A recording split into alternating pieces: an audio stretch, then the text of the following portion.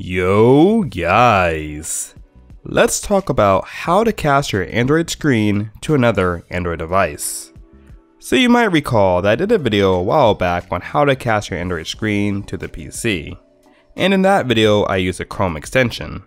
Well in this video we're going to use a simple Android app. The app is called HTTP Stream and basically it will stream your entire Android screen over the internet. So all you need to do is make sure both devices are on the same Wi-Fi network. Then open up the app and start to stream. On your other device, go to the local IP address of the streaming device. And that's basically it. You should see your Android screen streamed to your Android device. Now keep in mind, this is only a one-way communication. You can't control your Android device, which is actually a good thing because that will probably be very bad for security. But you can have multiple devices connected.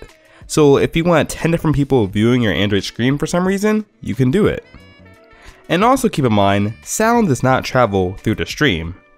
So guys, definitely give this app a try.